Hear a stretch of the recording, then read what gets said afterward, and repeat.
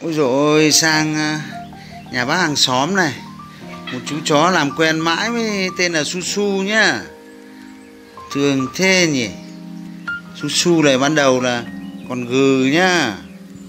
Ừ, Bây giờ đã làm ra rất thoải mái luôn. Bắt tay này. Ừ, Âu yếm này. Đây là Su Su bạn gái nhá. Ôi bạn này có hai bờm tai như tóc luôn. Ui rồi trông giống bạn gái có có tóc bờm này.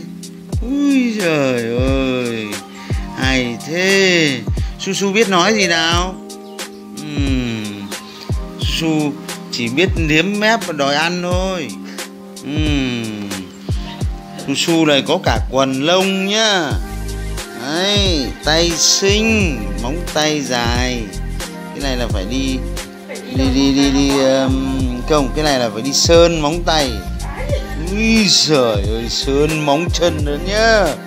Ui trời ơi quần này là quần bó nhá. Quần bó dưới phình trên áo à, tay áo cũng thế.